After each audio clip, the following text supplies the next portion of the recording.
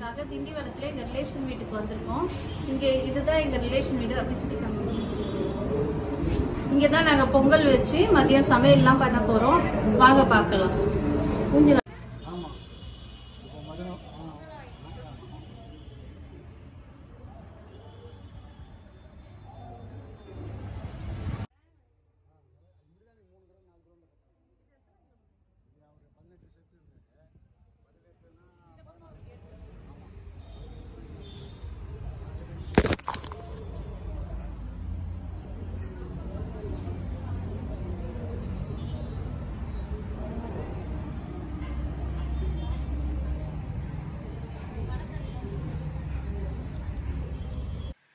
இன்றைக்கி நாங்கள் mutton biryani chicken sixty five கத்திரிக்காய் கிரேவி எல்லாம் பண்ண போகிறோம் அந்த வீடியோ கிளிப்பிங்ஸை நான் இதோட அட்டாச் பண்ணுறேன்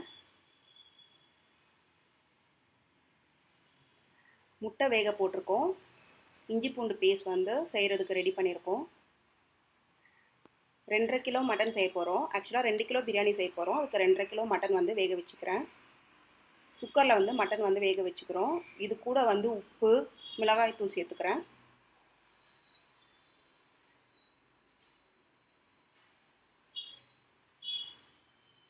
தேவையான அளவு தண்ணி சேர்த்து குக்கரை மூடி ஆறுலேருந்து ஏழு விசில் வச்சுக்கணும். ரெண்டு கிலோ நீங்கள் செஞ்சீங்கன்னா பிரியாணி வந்து நீங்கள் வந்து ஒரு பதினாலு பேர் வந்து நீங்கள் தாராளமாக சாப்பிட்லாம்.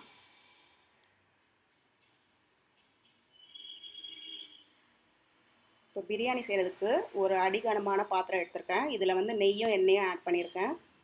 இது கூட கரம் மசாலா பொருட்கள் அதாவது பட்டை லவங்கம் ஏலக்காய் எல்லாம் சேர்த்துக்கிறேன். பிரிஞ்சி இலை எல்லாமே சேர்த்துக்கிறேன்.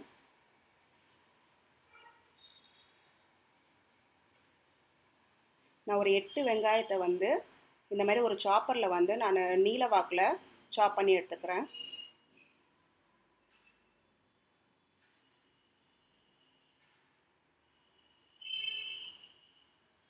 இது வந்து ப்ரீத்தி ஜோடியாக் சாப்பர் இது வந்து மிக்ஸி இதில் வர சாப்பர் பிளேடு இது.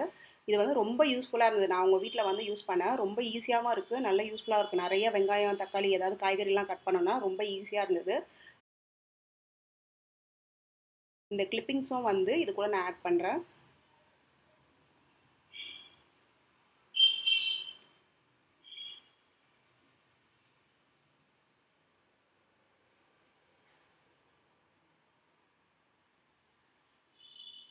இப்போ இந்த வெங்காயத்தையும் பச்சை மிளகாயும் சேர்த்து இதில் வதக்கிக்க போகிறோம். நல்லா கலர் சேஞ்ச் ஆகிற வரைக்கும் இதை வதக்கிக்கலாம். இப்போ நல்லா வெங்காயம் வதங்கிடுச்சு. இப்போ வந்து நான் ரெண்டு டேபிள் ஸ்பூன் இஞ்சி பூண்டு பேஸ்ட் சேர்த்துக்கிறேன். இதையும் நல்லா வதக்கிக்கோங்க. இப்போ நான் தக்காளியும் அதே சாப்பரில் வந்து நான் ஸ்லைஸ் பண்ணிக்கிறேன். நான் எட்டு தக்காளி இதில் வந்து இப்போ சாப் பண்ணியிருக்கேன்.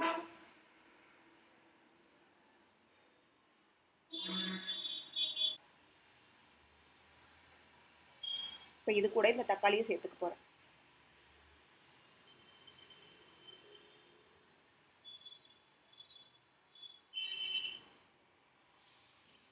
இப்போ நல்லா வதக்கி விட்டுக்கோங்க. இது நல்லா வெந்ததுக்கப்புறம் இது கூட வந்து புதினா கொத்தமல்லிலாம் க்ளீன் பண்ணி எடுத்து வச்சுருக்கேன்.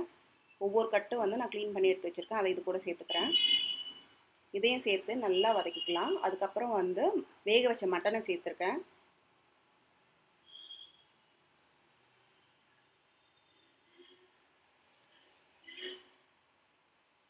எல்லாத்தையும் சேர்த்து நல்லா கலந்து விட்டுக்கலாம்.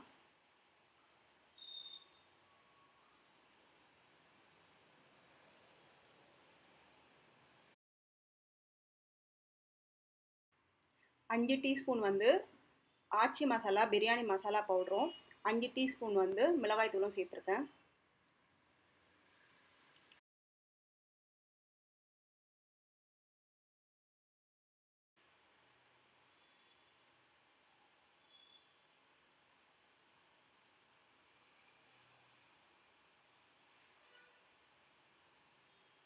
இதை நல்லா கலந்து விட்டுக்கோங்க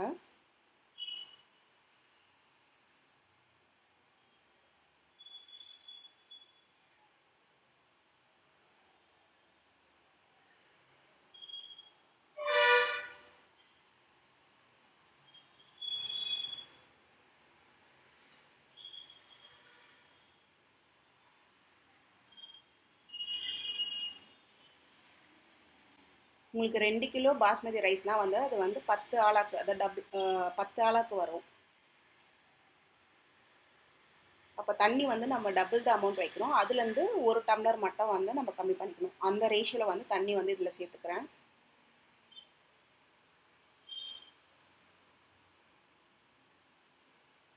அரிசி வந்து நான் பத்து நிமிஷம் ஊற வச்சுருக்கேன்.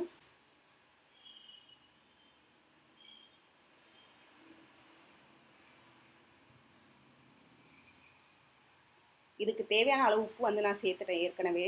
இப்போ இந்த அரிசியை வந்து இது கூட சேர்த்துக்கலாம். தண்ணி கொதிச்ச உடனே இந்த அரிசியை வந்து இது கூட சேர்த்துக்க போகிறேன் இதை மெதுவாக கலந்து விட்டு ஒரு மூடி போட்டு நம்ம வேக வச்சுக்கலாம்.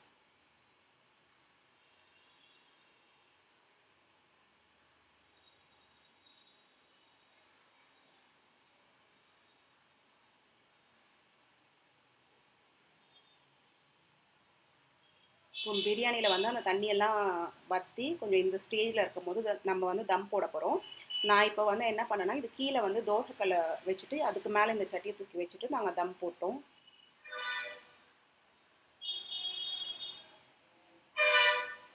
தம் போட்டுட்டு ஒரு இருபது நிமிஷம் அப்படியே வந்து விட்டுடணும். அடுத்ததாக சிக்கன் சிக்ஸ்டி ஃபைவ்க்கு ரெடி பண்ணிக்கலாம். இதுக்கு நான் ரெண்டு கிலோ சிக்கன் எடுத்திருக்கேன். நல்லா வாஷ் பண்ணி வச்சுருக்கேன். இது கூட தேவையான அளவு உப்பு சேர்த்துக்கிறேன்.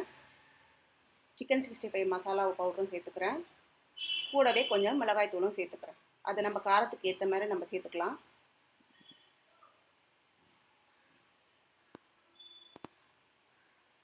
இஞ்சி பூண்டு பேஸ்ட் சேர்த்துக்கோங்க. இது எல்லாமே மிக்ஸ் பண்ணி நான் ஒரு மணி நேரம் அப்படியே இதை வந்து ஊற வச்சுட்டேன்.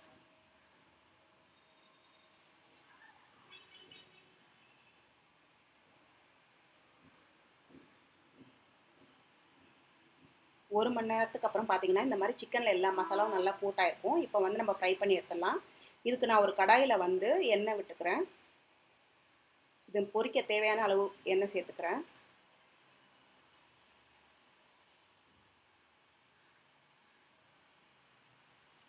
எண்ணெய் சூடானதும் இந்த சிக்கன் பீஸை வந்து நம்ம ஒவ்வொன்றா தனித்தனியாக போட்டு பொரிச்சு எடுத்துக்கலாம்.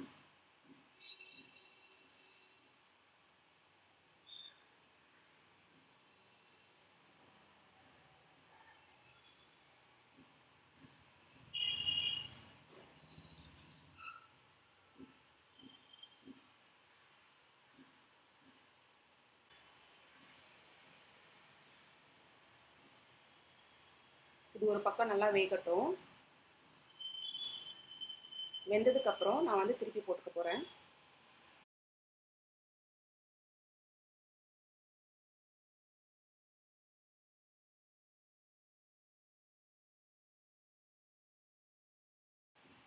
ஸ்டவ்வை வந்து மீடியம் ஃப்ளேமில் வச்சு நீங்கள் ஃப்ரை பண்ணுங்கள் ரெண்டு பக்கமும் இப்போ வந்து நல்லா ஃப்ரை ஆகிடுச்சு. இந்த மாதிரி ப்ரௌன் கலரில் வந்ததும் நம்ம இதை எடுத்துக்கலாம். மீதி இருக்க சிக்கனையும் நாங்கள் வந்து பொறிச்சு எடுத்துக்கிட்டோம்.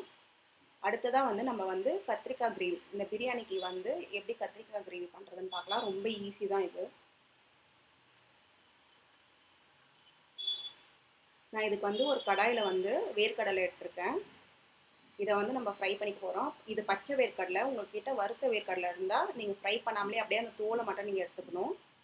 அப்புறம் ஐம்பது கிராம் வந்து எள்ளு கருப்பு எள்ளு சேர்த்து அதையும் நான் லைட்டாக ஃப்ரை பண்ணி எடுத்துக்க போகிறேன்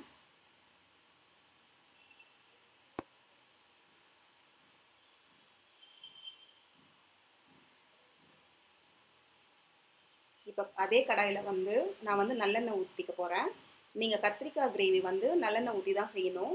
இதுக்கு மற்ற எண்ணெய் வந்து நல்லா இருக்காது. இப்போ தாளிக்கிறதுக்கு கடுகு சேர்த்துக்கோங்க. கொஞ்சம் வெந்தயம் சேர்த்துக்கோங்க. கொஞ்சம் மிளகு சேர்த்துக்கோங்க.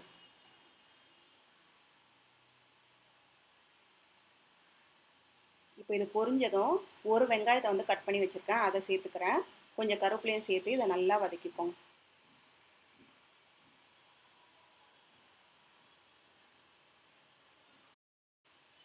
வெங்காயம் வதங்கினதுக்கப்புறம் இது கூட வந்து நான் ரெண்டு தக்காளியை கட் பண்ணி சேர்த்துக்கிறேன்.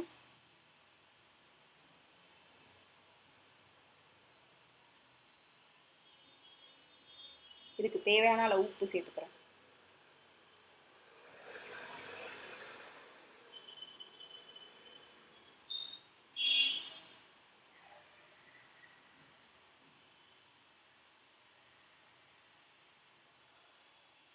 இப்போ கட் பண்ணி வச்சுருக்க கத்திரிக்காவை இது கூட சேர்த்துக்கிறேன்.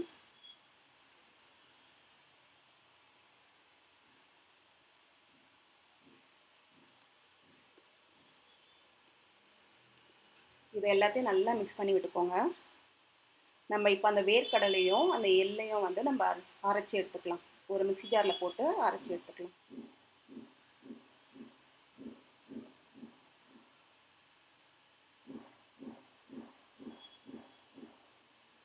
இதுக்கு வந்து கொஞ்சம் புளி தேவைப்படும். புளி தண்ணி. அதை வந்து நான் ஊற ஏற்கனவே கொஞ்சம் புளியை வந்து நான் ஊற வச்சுருக்கேன். கால் டீஸ்பூன் மஞ்சள் தூள் சேர்த்துக்கிறேன். ஒரு டீஸ்பூன் மிளகாய்த்தூள் இது கூட சேர்த்துக்கிறேன்.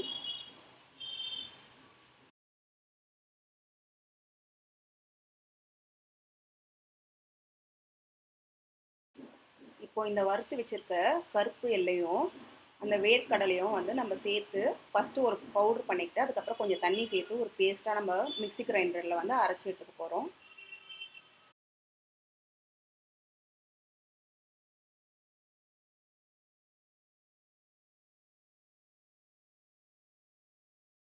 இப்போ இது கூட கொஞ்சம் தண்ணி சேர்த்து ஒரு பேஸ்ட்டாக நம்ம அரைச்சி எடுத்துக்கலாம்.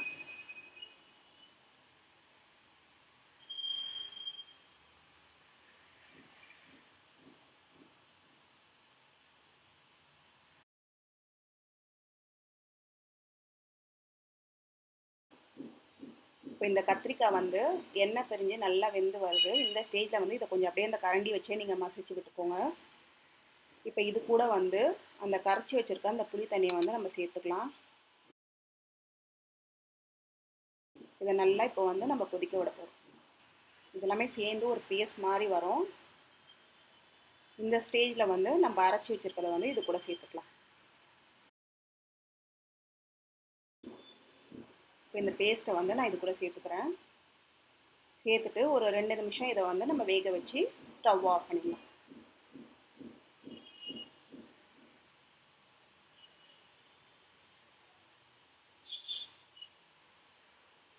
ஸோ பிரியாணிக்கு வந்து இந்த கத்திரிக்காய் கிரேவி வந்து ரெடி ஆகிடுச்சு கண்டிப்பாக இது வந்து நீங்கள் ட்ரை பண்ணி பாருங்கள் ரொம்ப ஈஸியாக பண்ணிடலாம். இது கூட வந்து நான் சேமியா கேசரி செஞ்சேன். இதோட வீடியோ நான் எடுக்கல. ஸோ கடைசியாக அந்த ஃபைனல் இது மட்டும் உங்கள்கிட்ட காமிச்சுக்கிறேன். இது ரொம்ப டேஸ்ட்டாக இருக்கும். சேமியா கேசரி வந்து ஏற்கனவே வந்து நம்ம சேனலில் அப்லோட் பண்ணியிருக்கேன். நீங்கள் அதை செக் பண்ணிக்கலாம். இப்போ பிரியாணியும் ரெடி ஆயிடுச்சு. இதுக்கு மேலே வந்து ஒரு ரெண்டு டேபிள் ஸ்பூன் நெய் விட்டுக்கிறேன்.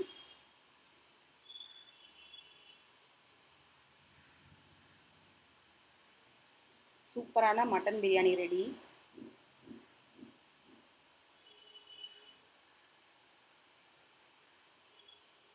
இப்போ வாங்க நம்ம சாப்பிட போகலாம் இப்போ இன்றைக்கி என்னென்ன செஞ்சுருக்கோன்னா சேமியா கேசரி முட்டை தயிர் பச்சடி கத்திரிக்காய் கிரேவி மட்டன் பிரியாணி அப்புறம் சிக்கன் சிக்ஸ்டி ஃபைவ். உண்மையாகவே இது ஒரு சூப்பரான லஞ்சாக இருந்தது. நீங்கள் கண்டிப்பாக இதை வந்து நீங்களும் வீட்டில் ட்ரை பண்ணி பாருங்கள் நாங்கள் திண்டிவனத்துக்கு போயிருந்தோம் இந்த பொங்கல் செலிப்ரேஷனுக்காக நாங்கள் ஈவினிங் வந்து பொங்கல்லாம் செஞ்சோம் அதெல்லாம் நாங்கள் வீடியோ கவர் பண்ண ஏன்னா நாங்கள் வந்து அங்கே பேசிக்கிட்டு கொஞ்சம் வந்து ரிலேட்டிவ்ஸ் கூட வந்து டைம் ஸ்பெண்ட் பண்ணனால நாங்கள் அதெல்லாம் கவர் பண்ண முடியல. இந்த வீடியோ கண்டிப்பாக உங்களுக்கு பிடிச்சிருக்கோன்னு நம்புகிறேன் இந்த வீடியோ பிடிச்சிருந்தா லைக் பண்ணுங்கள் ஷேர் பண்ணுங்கள் மறக்காமல் நம்ம சேனலை சப்ஸ்கிரைப் பண்ணுங்கள் தேங்க்யூ